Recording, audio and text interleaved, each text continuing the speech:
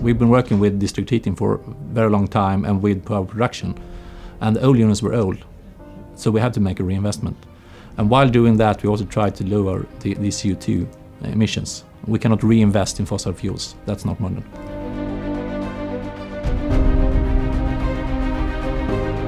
The main target with the Unit 6 investment was to make use of things that others can't use, waste.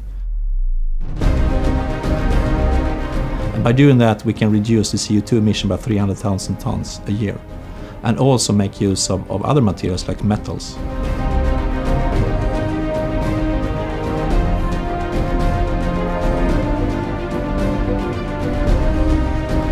Before we invested in Unit 6, we used uh, quite a lot of fossil fuels, uh, roughly 50%.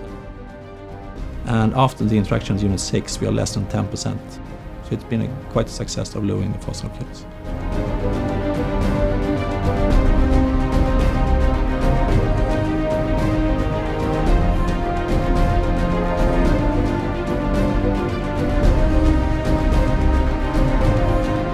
For the fuel equipment and the fuel factory, uh, the supplier was BMH Technology. And the main reason why we chose the supplier was first to have a company that have the body for delivering this kind of projects, but also to have a chosen track record that they have delivered this kind of equipment before.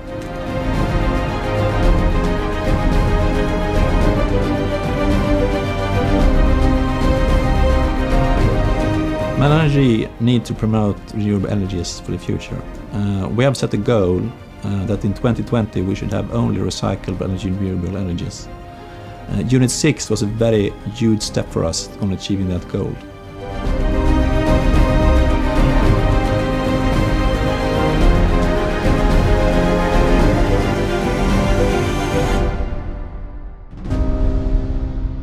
We now have the last 10% to work with and we'll do that also within our production plants so we can in 2020 reach a goal from LNG to have only renewable or recycled energy.